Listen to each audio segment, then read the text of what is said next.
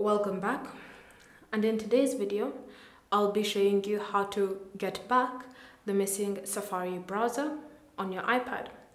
So you may have noticed that as you go through your home screen as well as your app screen you can no longer find the Safari app. In fact when you use the search feature and you type in Safari it's no longer available. So if you want to get Safari back on your iPad it's fairly simple.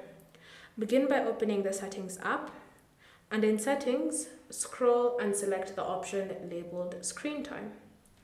From here, tap on content and privacy restrictions, then select the option allowed apps and features.